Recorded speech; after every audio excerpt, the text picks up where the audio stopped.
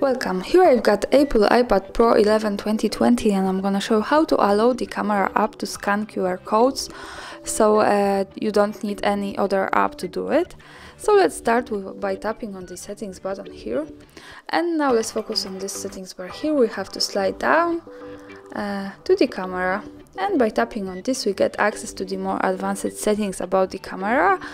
And as you can see at the third position we have the scan QR code. So by tapping on this button we can easily turn it off and turn it on as we need. So I recommend you to keep turning it on because this is the simplest way uh, to scan QR codes at this device. And that's all. Thanks for watching. Subscribe our channel and leave the thumbs up